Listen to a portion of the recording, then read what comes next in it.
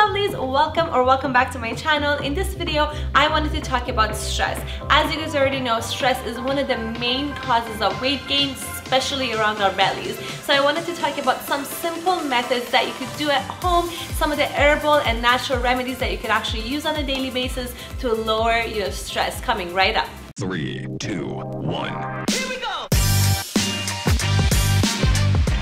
By the way, if you guys are new here, my name is Sepi and I've lost about 50 pounds over the past few years and I've been able to keep it off the healthy, sustainable way. So I'm here to share with you my passion for nutrition and weight loss. So if you're into that, make sure you consider subscribing to my channel. So initially I'm going to be talking about what is stress, what is chronic stress, and how important it is to actually lower our stress throughout the day. And then I'm gonna give you 10 herbal recipes on top of some tips to lower your stress on a daily basis.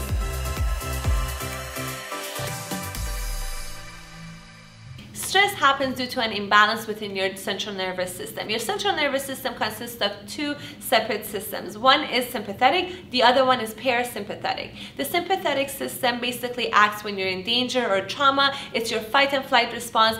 Basically what it does is that it helps your heart to start beating faster and you feel it the most when you're under stress. The parasympathetic system does the exact opposite. It acts when the dangers is actually past. It unclenches your muscle, it slows down your heartbeat, and that's when you actually feel more relaxed. These two work together, so they're balancing each other. If one of them works more than or harder than the other one, then there's gonna be an imbalance, and that's when chronic stress happens. Let's be honest guys, a lot of us are under chronic stress on a daily basis. We're working out, we're taking our kids to school, we're working, we have projects, due dates, we have our social life. You know, a lot of things that are going on on a day that we don't get a chance or a second to sit down and really reflect and try to do things that works in favor of our parasympathetic system, right? As a result of this, we might experience a lot of issues such as indigestion, sleep apnea, so we can't sleep, we have bad dreams, or we don't remember our dreams. These are all problems that we might be experiencing.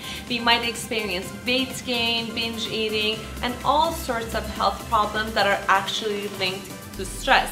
So how do we really avoid that? Now before I talk about all the Chinese medicines and all the African and herbal teas that I wanted to talk about in this video, I wanted to share with you some of the very, very effective ways that I have found that helps me reduce stress on a daily basis. So one of the things that I wanted to share with you is going to sleep early. When you go to sleep early and I have videos that talks about how to make sure you get your sleep schedule on track.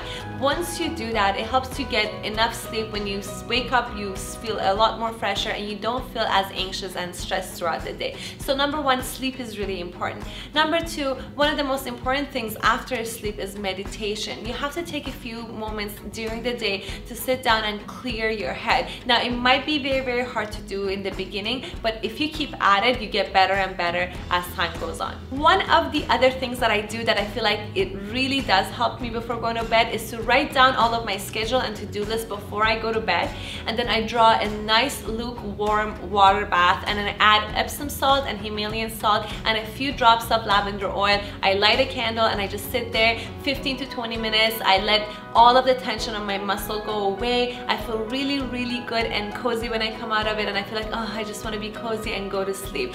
Make sure you try that and let me know what you think of that trick. There's also three other things that I swear by. It's walking, meditation, and stretching. These three together really does magic. If you're not doing that on a daily basis, make sure you add that to your schedule. Don't stress about it if you don't do it for a day or two. And when you do it, you're gonna feel such a big and noticeable difference in terms of your stress level that you're going to wanna do that all the time. Now, without further ado, let's get into all the medicines and herbal things that I found that helps to relieve stress.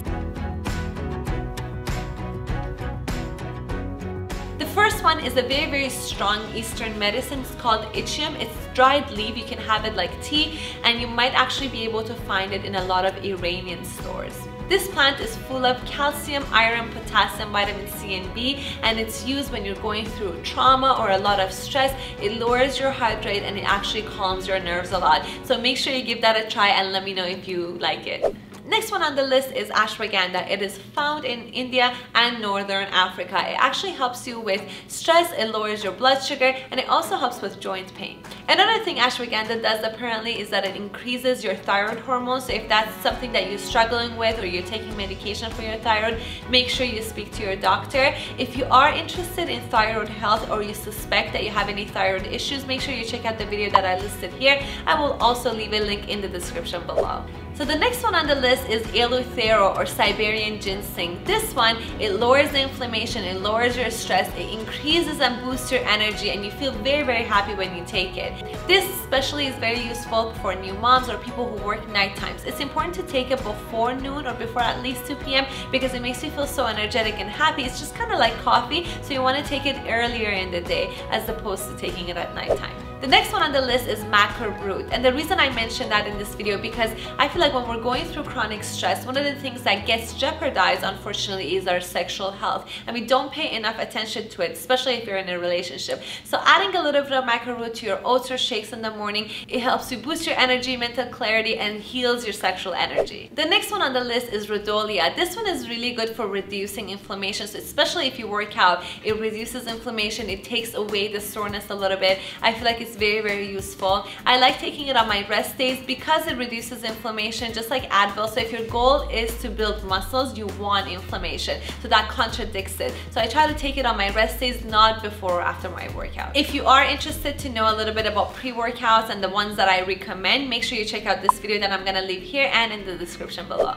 So the next one on the list is turmeric. To me, turmeric is holy. It basically reduces inflammation, it helps with your mood, your happiness, your brain fog. It has a lot of medicinal properties that I'm not gonna go over in this video. It requires a video on its own. The reason I wanted to mention it here is because it's cheap, it's accessible, you can find it in Whole Foods, you can actually get the roots, you can get the powder, you can add it to your food, you can have it in your morning drink, you can add it to ginger and lemon and have it as a shot. I'm gonna go over that in a second, but I really do recommend you add it to your diet on a daily basis, especially if you have an inflammatory diet that includes a lot of meat, you must include turmeric to your diet because it has a lot of anti-inflammatory effects.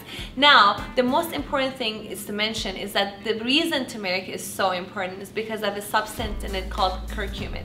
Curcumin doesn't get absorbed to your body, you know, easily. So if you just have the powder by itself, it might not get absorbed properly. So one of the things I personally do to make sure that curcumin gets absorbed properly into my body is that I get the actual turmeric root, I skin it with a spoon, I add lukewarm water to it, and then I add a spoon of manuka honey to it and a little bit of ginger and half a lemon. I mix it all and I add a teaspoon of black pepper to it. This is very, very important. So if you're gonna have a drink with turmeric, make sure you have black pepper with it because that's the only thing that helps it absorb to your body. I mix it all and I drink it as a shot. The next one on the list is the holy basil or tulsi. This is not the same basil as we get in grocery stores or we add it to our pasta sauce. It's basically a tree or a plant that you can use for a lot of variety of different problems such as malaria, snake bites, nausea, God knows how many other things that you can use this plant for. There's a whole list of it on Google that you guys can go through. So the reason I wanted to mention on this video is because it's a very important plant. There has been over 24 researches done on this plant and we know that it helps with your lipid profile, it lowers your blood sugar, and it helps with physiological and immunological stress. The next one on the list is the Schisandra berry or Mongolian berry they actually use the extract in Chinese medicine to help with a lot of different issues such as stress, depression, Alzheimer, and liver diseases. And I haven't personally used this, but I actually asked one of my Chinese friends and they told me it's actually very widely used in China. You could actually find this in powdered form, pills, supplements, and some of the Chinese stores sell this product as a berry or juice as well. So the next one on the list is goji berry. It's quite expensive to add to your salad on a daily basis, but I really do recommend it. So the reason I mentioned that in this video is because the goji berry is full of antioxidant and anti-inflammatory, so it reduces stress.